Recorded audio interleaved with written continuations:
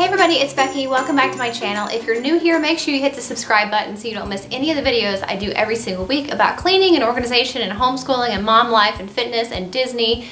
So if you like those kinds of videos, make sure you subscribe so you don't miss them every single week. So today's video is a little bit special and different for me. I have had quite a few questions over the years about um, dealing with children that have ADD or ADHD, especially as it relates to homeschooling. I've gotten quite a few questions about that because we do homeschool and while I am certainly not a professional and I don't have all the answers, um, I appreciate that you guys trust me enough to ask me that. And hopefully I will be able to share some tips and suggestions in this video to help you out. And even if your child does not have ADD or ADHD, I think we can all relate to the fact that kids are like ticking time bombs and you never know how long they're gonna be able to sit there before they just kind of go, go haywire. So Hopefully these tips will help you even if you have a child that has not been diagnosed with ADD or ADHD or any type of hyperactivity. I think we could all still benefit from this video, hopefully. So this information and these tips I'm gonna be sharing with you guys are all from, as based on information I've gotten from public school teachers and from online research and just, you know, learning about education. As we've homeschooled, I've learned more and more about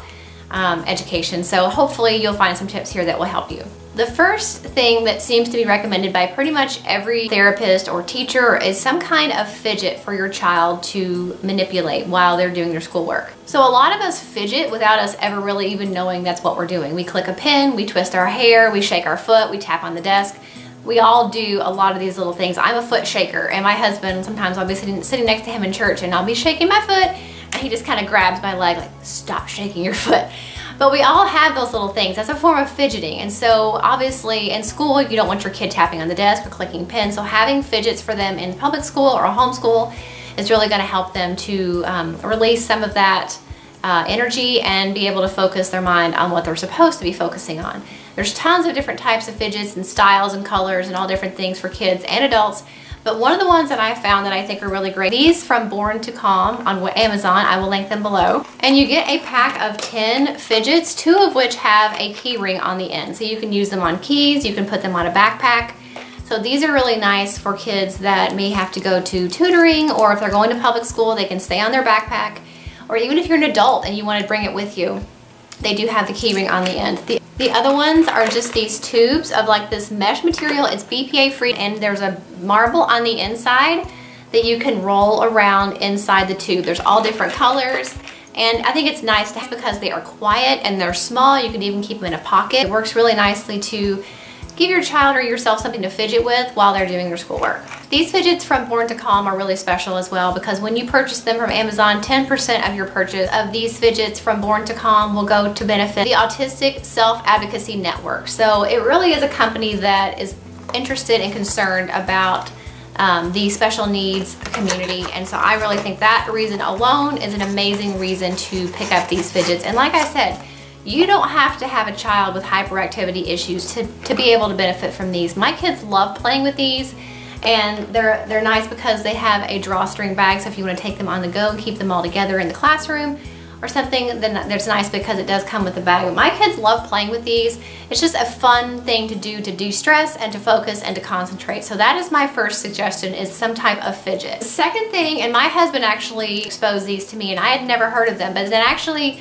after seeing him use it and doing a little bit of research about it, I found out that these spinners are an amazing way to help any child or adult with ADD, ADHD, hyperactivity issues. These two that we have are from Spinstro. It's an online website that you can purchase from. They have all, I mean, who knew there, is, there were so many varieties? Like he got one spinner and then he's like yeah but I need another one because I want one that's this color or I want one that's made out of this material and I didn't know there was such a variety I didn't even know they existed and then there's a huge variety of them in all different types and sizes and styles. So the two that we have are from Spinstro. And obviously you wouldn't necessarily want to give this metal one to a child, um, but my older daughter plays with it. Both girls do play with it, but really my husband likes this one from Spinstro. It's metal, and it's got the pointed tips, and it's really heavy and weighty, and it's really fun too because we like to play a game to see whose will spin the longest. Um, I'm kind of surprised, I don't want to admit to him that I do kind of think they're neat. Like when he first started looking into them and talking about them, I was like, that's dumb. Why, why would you want to just sit there and spin, stuff, spin something? But after being able to play with them for a little while, they have been really fun. This one's from Spinstro as well, and this one's much better suited to a younger child. So it's plastic, it's a lot safer.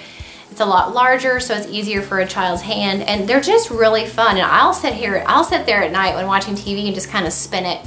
I do find it kind of relaxing and I do tend to have a little bit of anxiety sometimes and so it's actually kind of fun. And I actually have a coupon code for these Spinstro spinners um, for these or any of the other ones on their website. I will link that coupon code in the description box below in case you're interested in picking up some of these Spinstro spinners for your family, your kids, your husband, your classroom. I'm telling you, these actually make a great gift for any man as well. So check out the coupon code in the link below, in the description box below, if you're interested in these. Another great resource for children that have a little bit of a hard time sitting still or focusing are chair bands. These are actually something that when my oldest daughter was in public school, a couple of the chairs in her classroom had these chair bands on them and the teacher mentioned to me that they use those for kids that have trouble sitting still. They give the child something to do with their feet quietly while they're able to do their work and concentrate while not disturbing the other children. So those are really nice for public school or homeschool. I will link uh, the ones that I found on Amazon in the description box below. Another great way to relax and calm your mind and to de-stress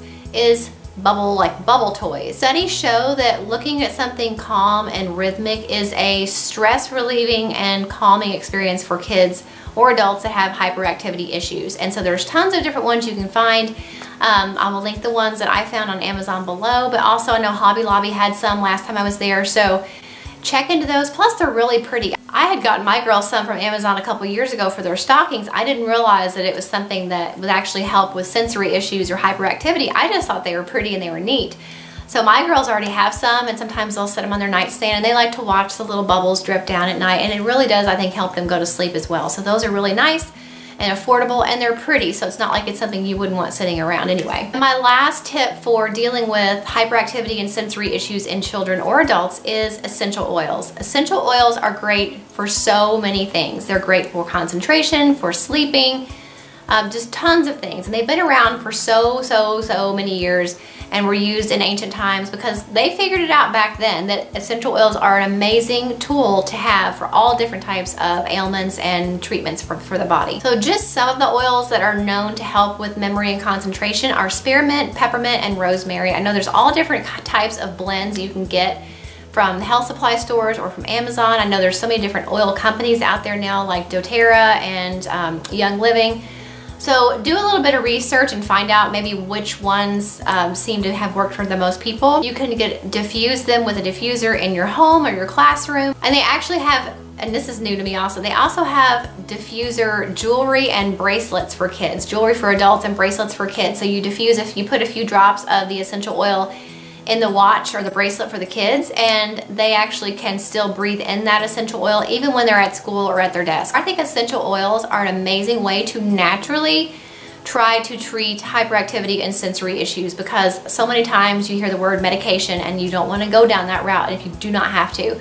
So essential oils are a much safer healthy, natural way to um, help to concentrate or focus or whatever the need might be. It would really be, honestly, a, a, little bit of a process of trial and error for you or for your child as to which essential oils work the best. There's all different blends you can purchase that have different essential oils that are supposed to help with concentration and hyperactivity and stress and anxiety and all these things. So I hate to kind of just say, here, do your own research, but honestly, um, it's a very personal um, personal process that you're probably gonna have to go through. I just wanted to bring it up though that it is out there for you guys. There are already oils made up that are supposed to work for hyperactivity issues. I have um, linked one in the description box below that I found on Amazon. Has tons of great reviews. Tons of people say it works for them or their child. So do your research, go to your to your local health supply store and ask them, you know, would do you have any oil blends that are supposed to help with concentration? Things like that and then just try them out because honestly that's really the only way you're gonna find the best blend for you or your child. And also I would highly recommend contacting Nikki from A Farmhouse Full. She is an amazing YouTuber, homeschooler mom, and she just recently started selling essential oils from doTERRA, and I know that she and at least one of her kids has ADD or ADHD, I can't really remember which one, and she has talked about one of the doTERRA oils that she uses in her homeschool room in a diffuser to help her kids concentrate and sit still. And she swears by it. So if you want to contact her, I will leave her channel link and her um, doTERRA website link in the description box below. You can definitely contact her and ask her any questions you might have. She is extremely knowledgeable about every single thing I've ever heard her talk about. Um, so I know she would probably be able to help you out as well. So those are my tips and suggestions for children that have ADD or ADHD or stress, anxiety, or just kids that have a little bit of a hard time sitting still. And I think any of these things are great, whether you have a child that's been diagnosed or you just have a kid that is a little bit bouncy sometimes and you want them to sit still and focus. They're fun ways and natural ways to get your kids to calm down, focus, de-stress, and get their work done with a lot less anxiety on your part as the parent or homeschool teacher. So I hope these tips were helpful for you guys. I've linked everything I could find in the description box below. Make sure if you're interested in the coupon code for the Spinstro Spinners that you check out the coupon code below. And make sure you check out the link for the Born to Calm fidgets in the description box below. I really, really believe in this company and I believe in the owner. I've spoken with her several times and I think she just has, her heart is in the right place. She has created these to really help people that have issues with anxiety or ADHD or ADD. And just the fact that she's giving 10% of the proceeds back to um, that back to the autistic community, I think just speaks that she really does have the best interests of children and people at heart. And that's what's so important. And I love supporting companies like that. So if you do as well, make sure you check out the link for her product in the description box below. If you guys like this video and it was helpful, give it a thumbs up and let me know what tips or suggestions you would have um, for somebody that might have a child with hyperactivity issues or if you're an adult that has hyperactivity issues or anxiety issues, let me know any tips or suggestions that you might have about that in the comments below. Thanks so much for watching and I'll see you in the next video. Bye.